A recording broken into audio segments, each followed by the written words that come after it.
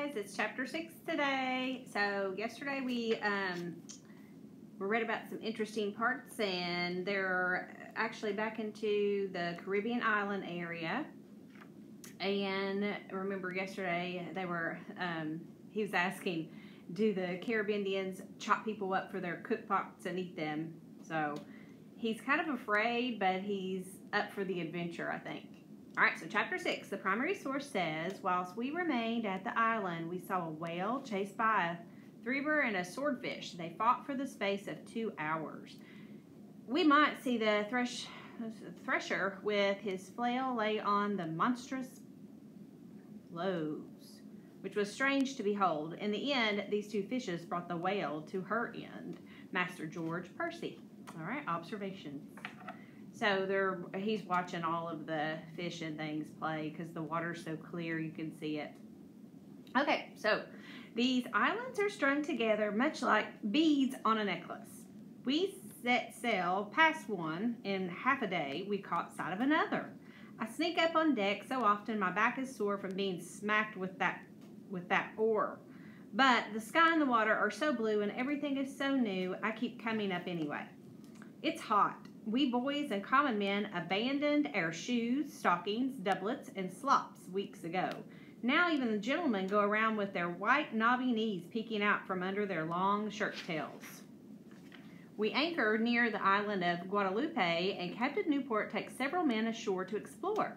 While the boats are anchored, we passengers are allowed up on deck.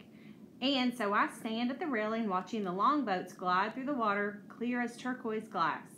A strong hand closes on my arm, and I'm startled. It's Captain Smith.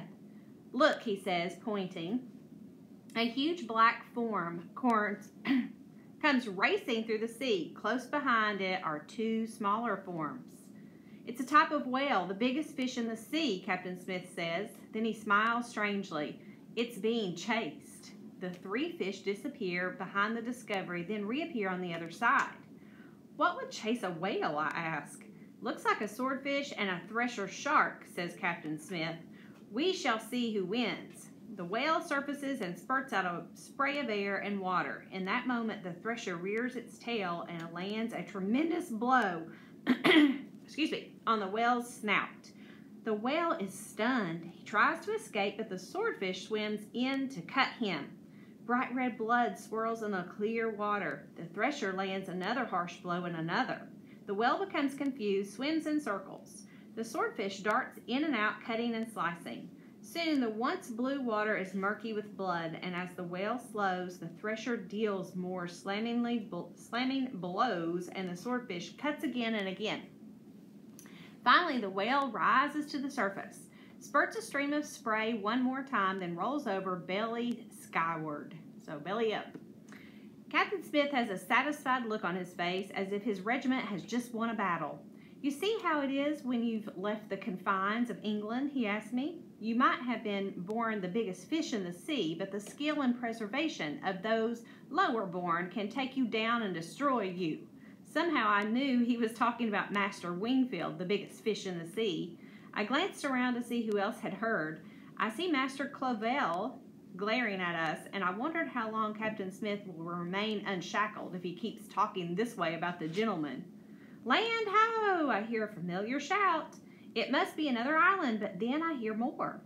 Is this where we'll drop anchor, Captain, and take all the men on shore? Yes, have the bosun ready the long boat. I run up on the deck. They'll soon be busy now to catch to catch me. The day is rare overcast one, and the sails reflect the gray of the sky the Susan Constant turns, sailors rush to pull on lines, and we are on our way, gliding into shore. As we get closer, I see the tall trees. They've got huge green leaves at their tops, and their bare trunks curve upward, like fingers reaching for the sky. I see a bright green and yellow bird fly from one treetop to another. Land. I wonder if I'll remember how to walk on it. Fetch the tents, lower the longboats. Men, gathering your belongings. We are going on shore. I gladly, very gladly, help load bedding, tents, pots, and pans onto the longboat and to be taken ashore. The Godspeed and the Discovery anchor nearby as well, and their men unload.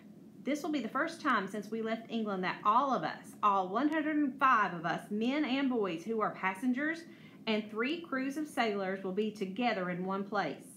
They are probably Carib Indians on the island, Captain Newport tells us, but we will give them beads and our soldiers will stand guard at night and we'll be safe. I'm one of the last to go ashore. When I finally stand on the white sand, it feels like it's, it's moving underneath me. I laugh out loud. More than three months on a ship has confused my legs so much that solid land feels like the rocking deck. Samuel, look, we're we're Carib Indians, James calls to me. He and Richard have taken off their shirts and they're running naked through the water, splashing each other. I have been waiting for James or Richard or both to tell me how I was wrong and they were right about the Caribs. But neither of them has. I have been on my guard, ready to rough them up if they say one word about it. Are they taunting me now, showing me what naked Caribs look like, telling me I was wrong not to believe them? Come on, Samuel. James stands in waist deep water, dripping wet. His skin is peaked pale, and his fair hair is plastered against his head. It's salty, he says, and he licks some water from his hands. It's fun. Come swim with us. I blink at him. No taunting, no insisting they were right and I was wrong, no hating me for how badly I've treated him and Richard this whole journey. I wonder if James can really be this forgiving or if he's simply so happy to be off that stinking ship that he has forgotten the past. Come on in, you prig, calls uh, Richard. You need a good delousing. Ooh, that means they might have lice. Ooh. That makes me mad. You're the one who brought the lice on the ship, I shout. I yank off my shirt and charge into the water. I splash Richard in the face until he begs for breath. When I stop, he's gasping. He smiles a little as if he wants to pretend it was fun, but I know it was not. My eyes dare him to try and splash me back or insult me again. I know he will not. He doesn't want to lose another tooth. Stop, you two, James whines. Look at the fish. He tries his best to distract Richard and me from our quarrel. I feel tickling on my legs, and when I look down into the clear water, I see small blue and yellow fish nibbling on me. The water's warm, so much warmer than the times like the, the river back in England. I want to live here forever, says James. I'd never go back to my stepmom ever. She would think I died, and that would make her happy. I want to stay here too, says Richard. I wouldn't be cold ever again. Well, me either, because that's like down in the Bahamas. Ooh, I'd love to go there right now. I shake my head. I still want to go to Virginia, I say. There's a sack of gold waiting for me there, maybe 10 sacks. Reverend Hunt calls to us from shore. Boys, come here. Put your shirts on. The sun will burn your skin. I wish we didn't have to leave the water, but we do what Reverend Hunt says. Disobeying him would be like disobeying God. When we get to the shore, he is holding our shirts in three wide brimmed straw hats. The sun here is like 10 English suns, he says. You put these on. Remember, that's because it's close to the equator. Remember, that's where the sun is the strongest. And that's where it's the hottest. Reverend Hunt waits while we put our shirts over our heads and tie the hat strings under our chins. Now, he said, there is work to be done. There are the tents to be set up. The cook wants all the pots scrubbed with sand and Captain Ratcliffe wants a path cut to the bath. They found hot baths in the forest, so like these hot springs. Annie says the gentleman can't be tromping through the underbrush to get to them. Captain Ratcliffe of the be- of the beady eyes and pointy nose, Captain Smith grumbles that he doesn't see why the gentleman can't walk through the forest like everyone else. But Captain Ratcliffe has the power to give orders, not Captain Smith. When we join the others, I see the older boy, Nathaniel, He's holding a hatchet.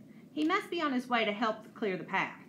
I don't want to scrub pots like a woman, so I hurry to get one of the hatchets too, and I swing it a few times to feel its weight and power. I want to do a man's job. Henry, Abram, and Nathaniel and several of the sailors start toward the forest with their hatchets, and I follow them. What do we have here? Henry turns to look at me and then stops to block my way. A scrawny chicken coming to work with the men? I don't answer. I want to say I wouldn't be so scrawny if he'd leave me more of the food uh, to eat. I try to skirt around him and continue on my way, but he puts out one powerful arm to stop me. Go back and scrub pots with the other boys, he growls. You'll only get in the way. He yanks the hatchet out of my hand and cuffs me. I glare at him silently as he turns and walks uh, after the others. What is he going to do with the two hatchets? I hope he chops himself in the leg. Reluctantly, I go find the cook. He's already hovering over Richard and James, showing them how to scoop up a handful of sand with a rag and use it to scrub out the mess pots. They haven't had a really good cleaning in three months, so the sand has some hard work to do. I join them, toiling under the hot sun until sweat drips from my face. I wish I could go back playing in the salty sea or swinging a hatchet in the shade of the forest. Suddenly, a scream comes from the forest, a man's scream of pain. Soon there's another cry, and then such shouting and shrieking it turns my blood cold. I remember Captain Smith's answer when I asked if the Caribs chop people up for their cook pot. Only if they catch them. The path cutters, I shout. It's coming from the, that direction. Gentlemen and soldiers grab their weapons and hurry toward the terrible sound. James and Richard huddle together behind the largest cook pot. I spot a sword and a belt, and belt someone has left lying in the sand. Quickly, I try to fasten the belt around me. It's too big. I pull the sword out of its sheath, and with the bare sword, I run toward the sound of the battle. Down the nearly cut path I go, high sweep, stepping over stumps and roots, following the soldiers and gentlemen. We all converge on the path's cutters. They're yelling and writhing as if the fighting invisible eh, they're fighting invisible demons. Henry is hopping, swatting his arms and neck, shouting in agony. There is not a Carib Indian in sight. What is this? Reverend Hunt demands, his voice booming over the cries. What is happening here? Fire! Henry cries. It feels like fire. And I jerk my head around, searching the jungle. Have the Caribs attacked and run off, or is it some strange beast? I hold out my sword, ready to fight, but I see nothing. The hatchets are all on the ground, and Reverend Hunt reaches to pick one up. No, Reverend, don't touch it. It's Captain Smith's voice. Angry red welts are rising on Henry's arms and neck, and Abram and the others too. To the baths, Captain Smith orders them. That will give you some relief. And they take off running, swatting at themselves as they go.